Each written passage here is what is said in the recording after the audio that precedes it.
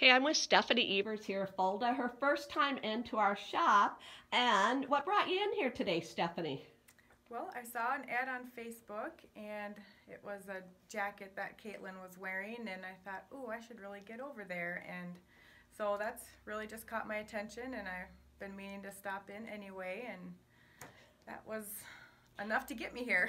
so do you think you'll come on back? Oh, sure. I'll definitely be back. All right. Can't wait to see you, Stephanie. Thank you. Thank you.